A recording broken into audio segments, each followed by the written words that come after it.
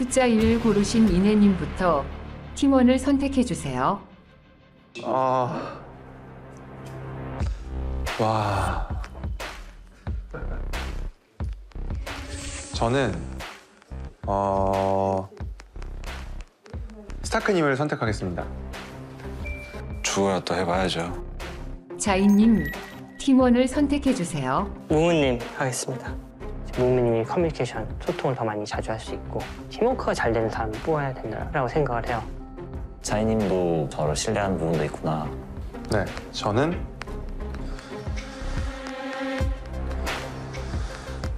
윤스님을 하겠습니다.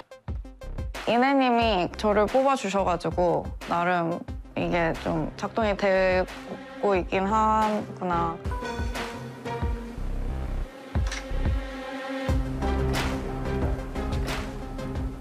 원상님 하겠습니다.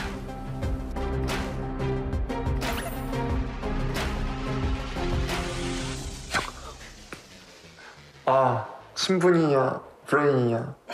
그게 더 기분 나빠. 그런 말 하지 말고 뽑아. 아, 그럴 수 있죠. 그럴 수 있지. 아, 그럴 수 있지. 신분이냐 브레인이냐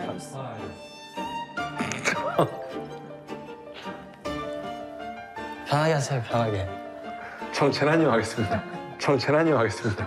왜 이렇게 하기 싫어하는 거예요? 아니, 제나님이 좋아서 제나님 선택했잖아.